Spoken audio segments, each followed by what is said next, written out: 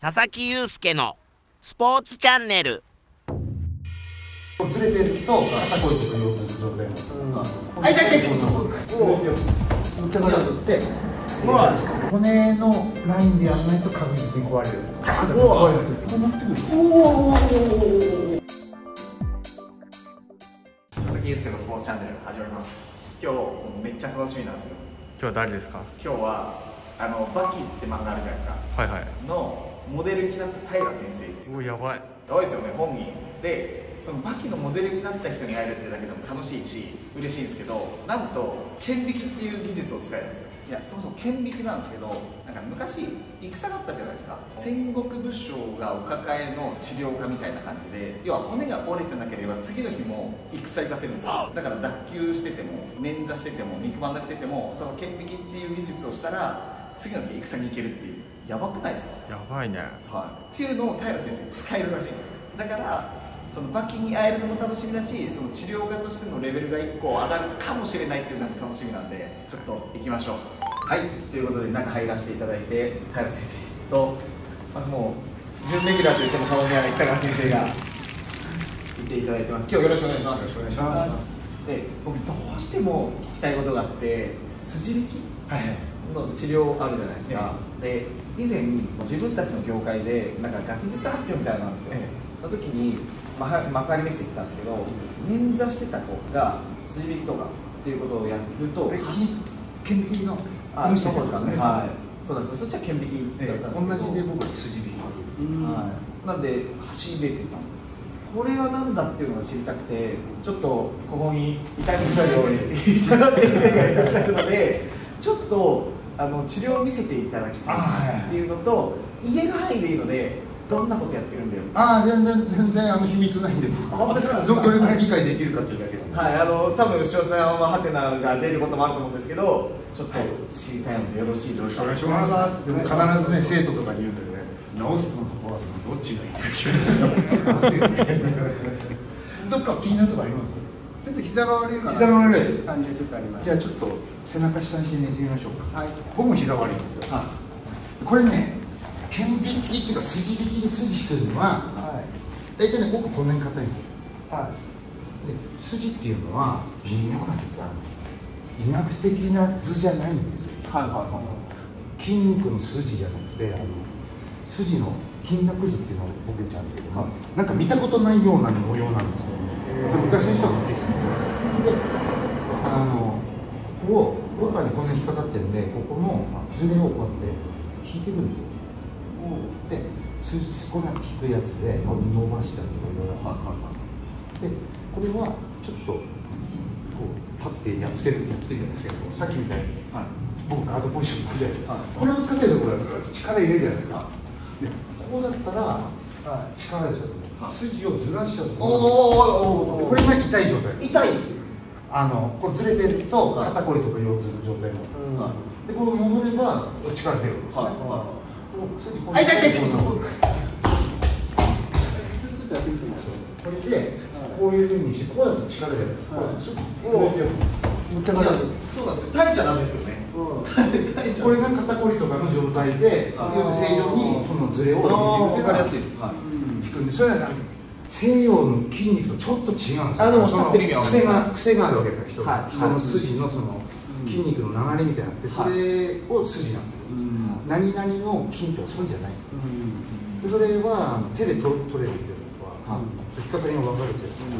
それで僕やってるのはもうちょい直接的なんですよ。はこうやってす僕もあのこれ習ったんです筋引きって、これ結構難しいですよ。だから今はできるんですけど、はい。こうやってあ人をやあの滑舌だから今みたいなやつもやるんですよ。結局人の手を取って感覚的に、で僕相手もできるようになればいいんですけど最初のうちそこまでできなかったんで、これ要は外れればいいんだよずれてるもの。はいはいはいはい。ってことはだって気づいて、はこうやって骨こう動かした時に痛いわけじゃないですか、はい。要するに膝のはい。こういうふうにして、これを要するにこの状態で痛い状態を出してやるんです。これと大概こ怖さ出てくるんですけど、その時に骨動かしながら腱をずらして入ってくるこれが僕のやり方。これが柔らぎってやつ腱を引くってこうじゃないですか、でも腱がずれてるわけだから表面を出してやって、はい骨の周りの硬いのを骨を動かしながら入れちゃえば、すごい奥まで重くなるんではこれが充実のさっきやった技なんですよ。一個質問していいですか？その剣がずれてるっていうのは何で判断するんですか手で分かる。手その触った時にそうそう。違うっていう。そうあと目で見ても分かるしこうここ,、ね、ここ痛いですよいはいここのラインでこうなってうん。こここうやればうんうんであとはこれ絶対医者やらないの壊れるはいはいはいそうですね。でこのやばい状態して、はい。あのその壊れるところのおかしいところ流してやればいいだけなんですよも痛いですよ。ねう痛いですよ。いやでも結構ひ膝が結構ピンポイントでやばいところそうそう。でこれこのままいったら捻挫じゃないですか、はいはいでその引っかかってるはい。筋を動かしてやれば思うわけああなるほど。可動域を出す。筋肉はいはい。や柔らかくするはいはいはい。そうわけじゃないですか。補助に入ってるんですか？それとも痛いか完完全にこう筋引いてるとこおーろこれはねこれは筋引きじゃないんででできたらこっちが簡単。こういうふうにしていく。でこれこれだから上級力ねこの状態して。うわ膝曲げてこうでしょこういうふうにしてこれも骨のラインでやらないと確実に壊れる。骨引いたら壊れないはいはいはいはいはい。はいはい視点で自分のさっきの充実の姿勢が合ってる。でガーンと壊れる。はいはいはいはい。ちゃんと骨揃えてやるからこそうれそう。で今もここでここの足首がはい。おかしいとかければこれは絶対でこれがあの最終形でちょっと膝多分なくなるはず。はい。あすごい楽。すごい楽。へであとはあの流れでこの筋の流れのつまりが首っていうところにいて入れてああそれ引っ張った時に引っかかる場所が分かるってこともうね見て分かる。んですよ見て分かるとしか言いようがない。ですよそれ僕動きを見て分かることは多々あるんですよ。動かしてもらって。見て分かるんですね見て分かる？これはこう力入れるじゃないですか。飛ばされないはいはいはいはいはいこれはもともと多分プロの頃から分かってるんですよなんとなくそこに入ってただからそういう現象があるって分かって割とすぐできたこれ説明しようがないですよ。なるほど北川先生がやってるからこれだと思うんですよ。一般人受けたらちょっと僕うちのスタッフなんですよ。はいはい。膝どっち？えっと右膝。じゃあ今度お腹下にしてみよう。か違いやり方痛いです何から練習したらいいんですか？まず筋を引くことですそれ教える。これ筋引いてるっていうのに広げてるんですよ。なるほどどういう感覚？いやもうなんか痛みしてるしかないです。痛いの？痛いこれ痛いよ悪いよしかもこの手技とは違いますそうだよね膝の角度がねえぐいっすよねこれ絶対壊れる角度こうやって入れていこれで壊れると壊れないように筋を入れていなるほど。それ筋を入れるから壊れないと？くそうそうそう。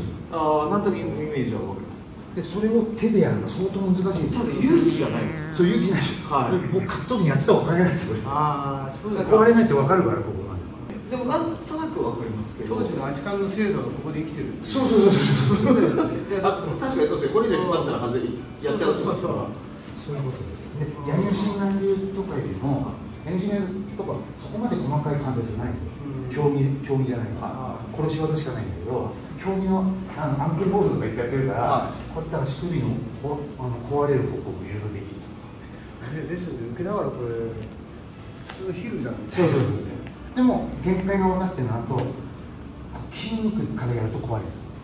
骨だけ動かせばそんなにああなるほどう。ん筋肉に対してアプローチはかけないかけないことですね。骨を取る。まず筋引きから入る、はいはい。筋を引けないんで。はい。それ筋び、えー、と筋を引くじゃないですか。で抵抗がなくなったら骨に行くいやもうあの筋引けるようになったら、は次に骨まで分かるんですよはいはい。触った感覚そうでね骨触ったら動かせるから、はい。骨を動いてるって分かる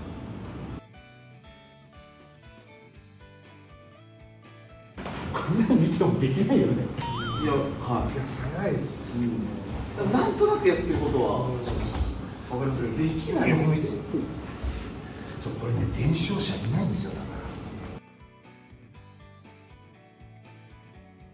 えっと僕、YouTube で一番衝撃受けたかもしれないです。これ立ってるんでしょえ？でも左右差がすごいです今。こっちもいいでしょ。はい全然。直した方がいいんだよ。直した方がいいですでもそれちょっと戻るんだよなあれだったらまだ戻るから。気になったら最後に入れてで指ちゃんと組んでよっこいしょ指ガッチリで胸やってちょっと下がってよいしょ違います違いますしてもいいですか？自分で何が悪いか何が悪いか自分の使い方の癖とかは分かるんですけど何が悪いのか分かんない見ていただくことあいいですよいいいいじゃないですか。これだから例えば過去にやってない人がグーって力で入れるこうじゃないですかここ持ってくるおおでみんなこうやって力ないですかこう抜き出してるだからものすごい僕力感じるはずなんですけどそんな力使ってないよ。カツカツだから。もう筋抜いちゃってるんですよ。あここだってことですよね。ここからやれたらもううってなっちゃうでしょはそれをねあの僕一番最初にうちの先生に会った時に、まあ、これやれって言う半年後にできたの。ここにすここここのね筋って取りやすいんですよ、はでこうやって自分で毎日かけるとそうすると筋がある日ってかかるんですよ。はいはい。あそれしかない。それが引っかかるって感じですか？そうそう。これをねやってれば引っかかるの必ず。でこれやる人が少ないだけではい。あでも。自然にかかるようになってれば人間って。あ分かる。僕もこする治療法をよややはい。やってるんですよ。その感覚に近いですこれがね充実化の技なの。そうするとこうやってグーってなってもうだんだんできたらここでもいいしどどこでもかけないですよはいはいはいはいそうするとガーンってどこどこでも技使えるようになる。ちょっとごめんなさい。これのかけるこれ要はねこうできなきゃダメ。ですよ僕のやったやつは。治療じゃないから相手が抵抗してもはい抜き去るぐらいの精度がなきゃダメなるほど。そこが違うんですよ多分。だからあのバーンってやっても壊さない。あでももともとはそうだったとしか言いようがないんですよ。あはいはいはい。分けてないからこのこの技術やってもこの体ないとガン難しいんですよ。だから簡単にあの顕微鏡みたいにやるんだったら割と簡単なんですよ。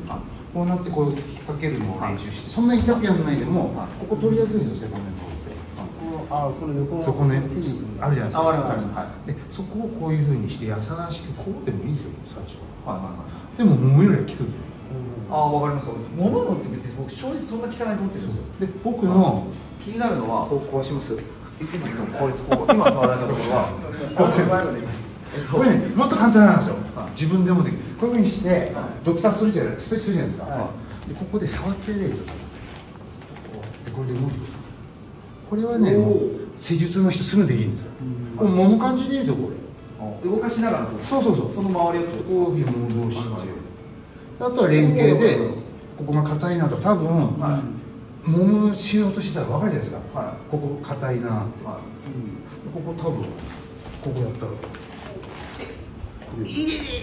でこあよく耐えたね。めっちゃ痛かったでしょ？これでもね外楽ですよ。いめっちゃ楽ですこれ動かしながら揉んでもいいですよはい。和らぎの簡単ですこれこれはねあの多分この治療してる人はすぐできる。それ慣れ慣れるとこの筋線分かってきたら、で次こうやって多分筋が取れる。あ最初引っかかるって感じですか？筋を取るっていうのは。ここうなってどこでもあるんですよこれ筋引きだからカンってやるとそれ下手引くみたいにはい。鳴らさなきゃダメですそれが筋引き。そうそう。もともとはこれだから痛いですでも筋伸ばすとかいろいろあるんですよはいはいはい。広げたりとか。はいはいはいはい。で僕のはこの状態で出しちゃってるからこれとかお完全に持ってかれるでしょ。はでもどんな治療家よりうまいんですよ。これだからどんな治療家よりやっつけるのうまいもん。いやいやだそうだけどそうだから本来明治以前はそうなんです